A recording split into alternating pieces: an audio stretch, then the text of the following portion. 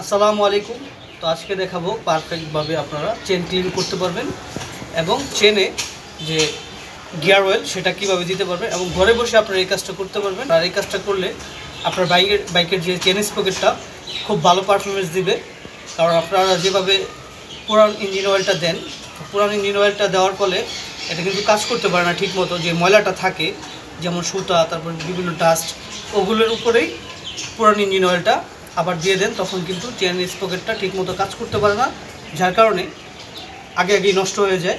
এবং আগে আগে বলতে যেমন দশ হাজার চলবে, সেই জায়গায় পাঁচ হাজার কিলোতে আপনার চেন স্পকেট নষ্ট হয়ে যাবে। আর কীভাবে কাজ করলে আপনাদের চেন স্পকেটটা খুব সুন্দর থাকবে এবং ভালো থাকবে সেই ভিডিওটা আজকে থাকবে। আর কী কী লাগছে সেটা কি করতে, এই যে এটা আমি ক্যারোসিন নিয়েছি, আর নিয়েছি গিয়ার অয়েল আর একটি কাপড়, আর ব্রাশ এই ব্রাশ না হলে অন্য ব্রাশ হলেও চলবে, কোনো সমস্যা নেই।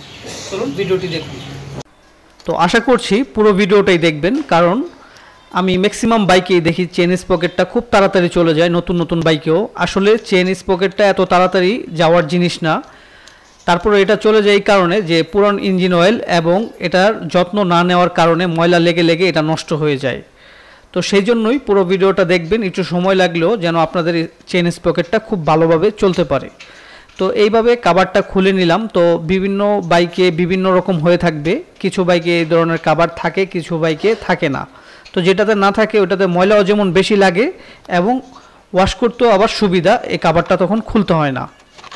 তো সেই জন্য আপনারা এভাবে খুলে নেবেন। এই যে দেখতে পাচ্ছেন, অনেক ময়লা হয়ে আছে এবং অনেক দিন যাবত এটাতে অয়েল দেওয়া হয় না।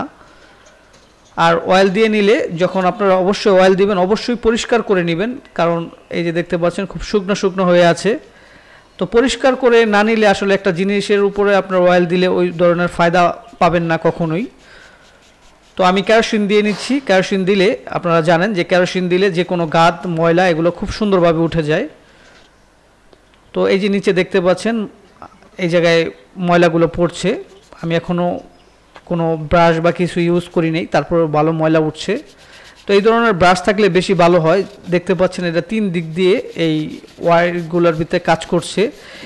এটা আসলে চেনটার খুব আমরা গুরুত্ব কম দিয়ে থাকি। আসলে এই চেনটার ভিতরে অনেক ধরনের পার্টস আছে ওয়ারিং আছে। তো সেইগুলোর ভিতরে ভিতরে এই ইঞ্জিন অয়েলটা মোটা হওয়ার কারণে যায় না, যার কারণে আজকে গিয়ার অয়েল দিয়ে আপনাদেরকে দেখাবো এবং গিয়ার অয়েল দিয়ে আমি ইউজ করছি। এই বাইকটা আমি তিন বছর যাবৎ চালাচ্ছি, আমার চেন পকেটে কোনো সমস্যা হয়নি। তো ম্যাক্সিমাম বাইকেই দেখা যায় চেন পকেটের গ্যাট গ্যাট করে শব্দ করে, তো সেটা খুবই খারাপ লাগে। তো আসলে চেনের যদি আপনার যত্ন নেন এবং সেই ক্ষেত্রে যত্ন নিলে আপনার চেন স্পকেটটা এত তাড়াতাড়ি নষ্ট হবে না। কারণ এটা নষ্টই হয় একমাত্র অপরিষ্কার থাকার কারণে এবং খারাপ ইঞ্জিন অয়েল দেওয়ার কারণে। তো আমি সেই জিনিসটাই দেখাচ্ছি যে কীভাবে পরিষ্কার করে নেবেন। তো এইভাবে পরিষ্কার করে নেবেন, কেরোসিন দিলে আস্তে আস্তে ময়লাটা পড়ে যাবে, তারপর ব্রাশ দিয়ে ডলা দিবেন, তারপর কাপড় তো আছেই, সেটা দিয়ে ডলা দিবেন। তো ডলা দিলে দেখবেন একেবারে চেনটা নতুনের মতো হয়ে যাবে। তারপর আমরা গিয়ার অয়েলটা ইউজ করব। তো এইভাবে যেন একটু ময়লা না থাকে তো সেইভাবেই পরিষ্কার করবেন। এই যে আমি আবার কেরোসিন দিয়ে নিচ্ছি। তো একেবারে পরিষ্কার হয়ে যাচ্ছে। এটা কোনো কঠিন কোনো কাজ না। যত সুন্দরভাবে পরিষ্কার করবেন, ততই ভালো থাকবে। যে দেখতে পাচ্ছেন, ময়লাগুলো পড়ে যাচ্ছে এবং এই জিনিসগুলো আগে পরিষ্কার দেখা যায়নি। এই যে দেখছেন চেন স্পকেট ছোট যে চেন স্পকেটটা এগুলো পরিষ্কারভাবে দেখা যাচ্ছে এখন। আর নিচে দেখতে পাচ্ছেন, অনেক ময়লা পড়ছে। তো ব্রাশের, এই ব্রাশটার আবার একটু ভালো দিক আছে যে দুই দিক দিয়ে দুই রকমভাবে কাজ করা যায়। তারপরেও যদি দেখেন একটু ময়লা থাকে, আবার কেরোসিন দিয়ে পরিষ্কার করে নেবেন। তো এটাতে অনেক বালু, অনেকই লেগেছিল। আমার ক্যামেরা বেশি একটা ভালো না, যার কারণে আমি পরিষ্কারভাবে দেখাতে পারলাম না। তো প্রথমে তো দেখেছিলেন ময়লা আছে, এটা দেখা গিয়েছে আর এখন তো দেখতে পাচ্ছেন যে পরিষ্কার হয়ে যাচ্ছে। তো এটা তো অনেক ময়লা এবং সুতা, বালু, বিভিন্ন কিসকিস করতেছিল, যেগুলো দিয়ে আসলে খুব সুন্দর মতো চেন স্পকেট কখনোই এইভাবে কাজ করবে না। তো অনেককে আমি দেখি, পুরনো ইঞ্জিন অয়েল দিয়ে রাখে, তারপর ময়লার উপরে আবার দিয়ে রাখে। আমরা যে কোনো জিনিসই করি কিন্তু আমরা ফ্রেশ হয়ে তারপরে আমরা সুনো দিই বা পাউডার দিই বা শরীরে যে কোনো জিনিস ইউজ করি, সবসময় কিন্তু আমরা পরিষ্কার হয়ে নিই।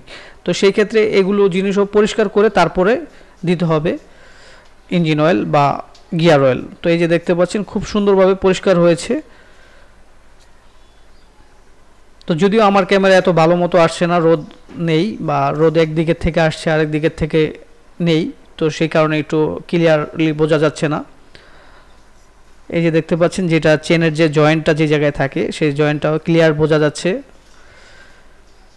তো খুব সুন্দর ক্লিন হয়েছে। এখন গিয়ার অয়েলটা ইউজ করব। তো গিয়ার অয়েল ইউজ করার সময় মোটরসাইকেলটা স্টার্ট করে নেবেন। তো স্টার্ট করে নিয়ে এইভাবে ধরে রাখলেই হবে। পুরো যে চেনটা আছে, সেটা এমনিতেই গিয়ার অয়েলটা লেগে যাবে। তো গিয়ার অয়েলটা দেওয়ার উদ্দেশ্যই যে গিয়ার অয়েলটা পাতলা, তো এটা যে চেনের ভিতরে ভিতরে যেতে পারে, সেই কারণেই গিয়ার অয়েলটা ইউজ করা। তো এই গিয়ার অয়েলটা আপনারা যে কোনো গাড়ির ওয়ার্কশপে বা যে কোনো গাড়ির যে মেনটেন্যান্সের দোকানগুলো, সেই জায়গায় পেয়ে যাবেন বা গ্রেজে পেয়ে যাবেন ভুললেই যে গাড়ির গিয়ার অয়েল। তো সেটাও ভালো নেওয়ার চেষ্টা করবেন। যত ভালো জিনিস নেবেন, তত আপনার ভালো কাজ করবে সব জিনিসগুলো। আর নিজের মোটরসাইকেল মোটরসাইকেল তো নিজেরই হয়ে থাকে। এটা আপনারা নিজেরা খুব সুন্দর মতো করে কাজগুলো করবেন এবং ভালো জিনিস ইউজ করবেন। তারপর যে যে জিনিসে মনে হবে যে একটু ময়লা আছে, সেগুলো ক্যারোসিন দিয়ে সুন্দর করে ওয়াশ করে নিয়ে লাগিয়ে দিবেন।